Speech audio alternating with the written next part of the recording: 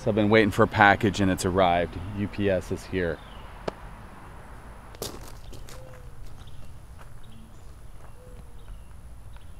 I appreciate you. Thanks, man. All right. Have a good one. Yeah, you too. This is it.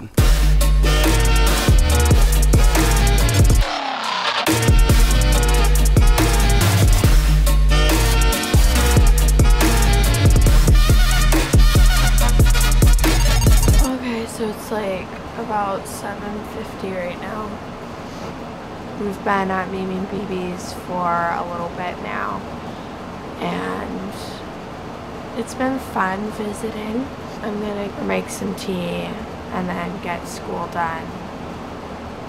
And then when some of the kids start to wake up, then I'm probably gonna make food.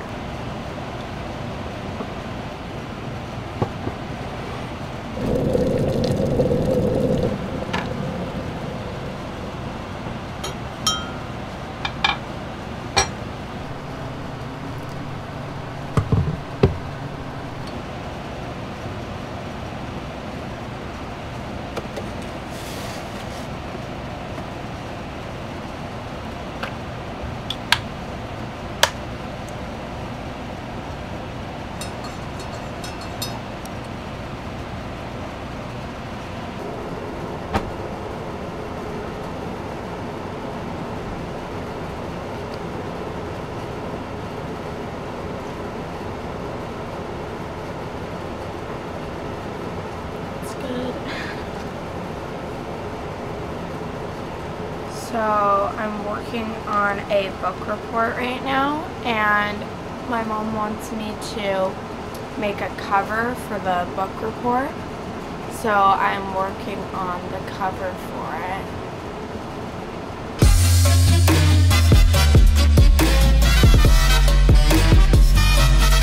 This is the cover to my book report.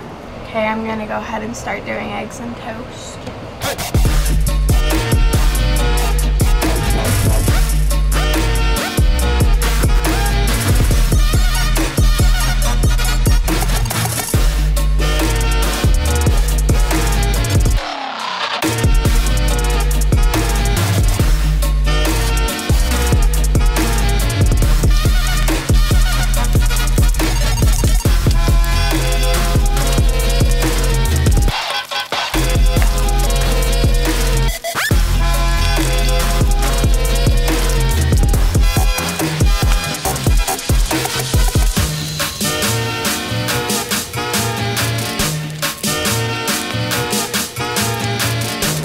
That plate is pretty hot, so. Okay, wait.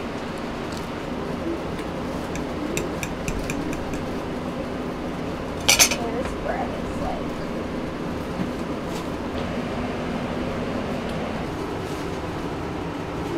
Don't drip. I don't know my ABCs yet. I'm learning them right Hey! now. I've read this book too many times. Yeah, I remember that. This is it. All right, guys, let's open it up and see what we have here.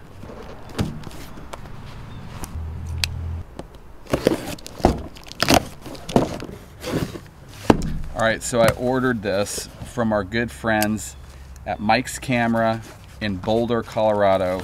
And this is what I ordered. This is the GoPro Hero 7 Black. Look at that. Comes with the camera, GoPro stickers.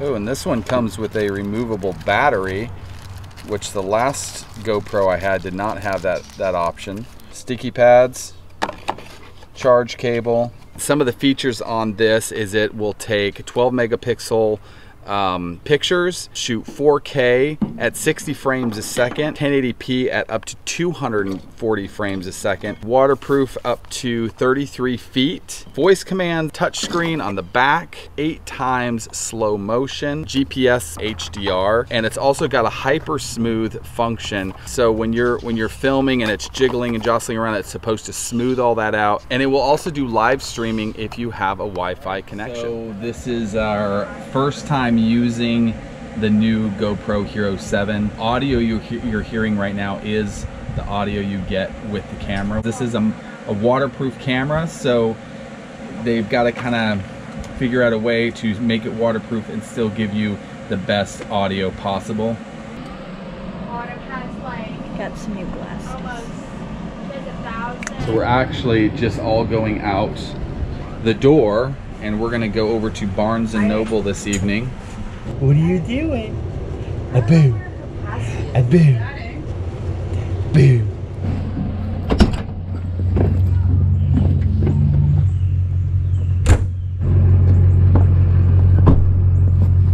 So it's kind of a tradition when we're in Pensacola, Florida with one of our very good friends. We go to Barnes and Noble and hang out. See, I brought my my iPad. My iPad. I ordered some books off of Lamplighter um, website. I think it's lamplighter.net. But they have audiobooks, and Arwen loves their audiobooks. And Lamplighter had a special where you could get 10 audiobooks for $20, which is crazy good deal because usually they're like $20 per audiobook. So I'm so excited. I'm going to upload them on my. My iPad, actually. So if you don't know who Lamplighter Studio is, they take like really old classic books. I think that they um, have to be over a hundred years old. These books, and then they put them to audio. Um, a lot of them are dramatized audio books, and they're really good. All right, we're hitting some low light situations here. I mean, it's not real bright out. About two weeks ago, uh, we went bike riding and I was turning a corner and uh, there was some sand on the sidewalk. And so when I turned the corner, I was kind of going fast, like not extremely fast, but I, anyways, I turned the corner and I didn't really see the sand and I fell and I hit the concrete and I skinned up my whole right leg and then both of my hands and my knees and it wasn't really skinned I like chunked out it's better now but that's where it was Sounds that they're Julie's scared, hanging on tight. Oh, we Wait a second, did I want to go straight there? yes, I did? yep. And then you turn left up there. Well, you can go straight, though. And You go. could and go past it and then No, over. not past it. You take a left. Julie gets kind of confused where we are in Pensacola sometimes. No, actually, So, that is. Yeah. She thinks this is the intersection after this intersection. Oh, yeah. exactly. so what you need to do, Shane, is go over the bridge and then turn left. So I know. that means you need to switch three. I know. lanes. I know. So what's nice about a GoPro as opposed to our other camera that has like a big microphone on it and you know a big lens and it's bulkier is GoPros are very easy to just grab and go. You just grab it, hit the record button That's why they call it a GoPro. and you're off.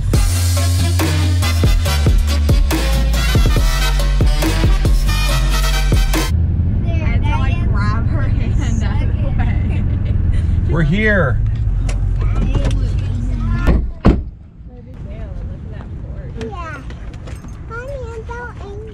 Sweetheart. Let's go.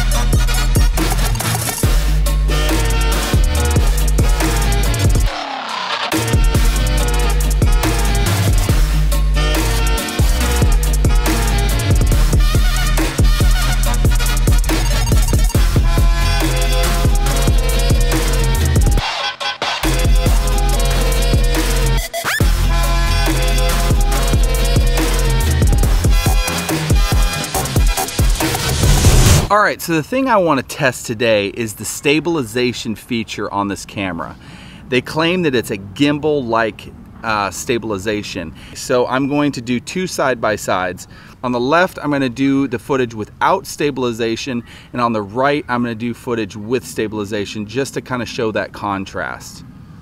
So let's turn this thing on and go.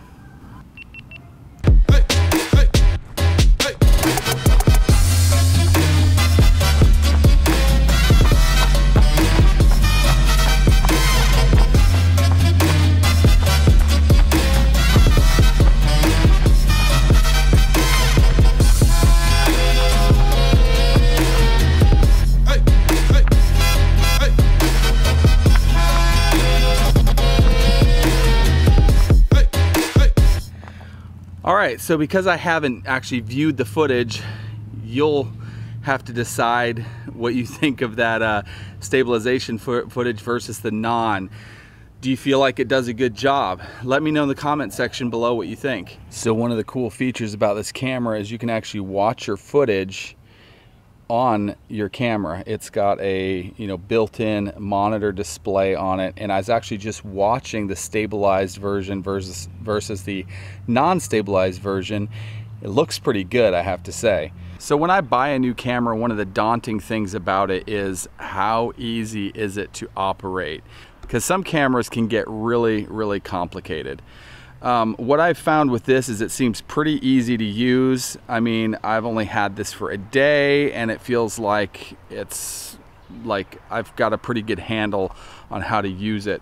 Um, it's got a feature on it where you just click the record button right there and even if it's off, it'll just immediately start recording and you're good to go. And then you click that again and it turns your recording off and it shuts the camera back down. There's also a power button on the side of it right here that you can push and turn on and then, you know, get to all your, your functions. Kind of a really quick crash course here is by pushing the side button or by pressing the screen itself.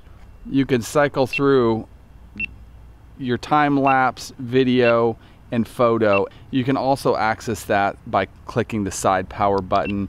It'll pull up your different settings.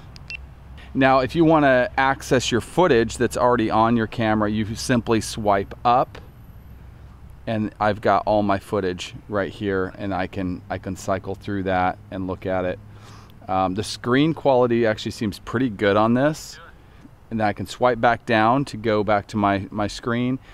Now, if I want to get to my camera settings, like my preferences and things like that, I simply swipe down and I've got my preferences there. So I can select whether um, I want to have voice controls on, whether I want to have the sounds, the beeping sounds on, um, whether or not I want quick, quick capture on or off. I can lock it and I can also click the preferences button which will have all my settings like my Wi-Fi settings, um, voice control settings, touch display settings, regional settings, my input and output settings, all that. So it's very, really quite easy to navigate through this. All right guys, so let me know what you think of this camera in the comment section below. I think it's gonna be a great little tool to have, not to mention it's waterproof. It'll go up to 33 feet underwater, which I don't plan on going that deep anytime soon, but it'll be great to have. I've got a link in the video description where you can purchase this. Um, one, I ordered this specifically from Mike's Camera in Boulder, Colorado.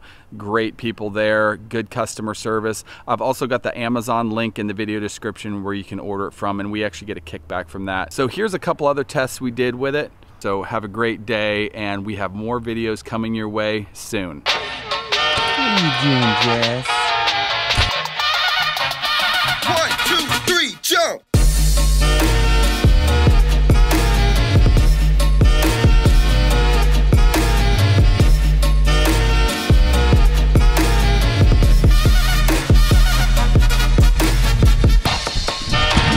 Not as young as I once was.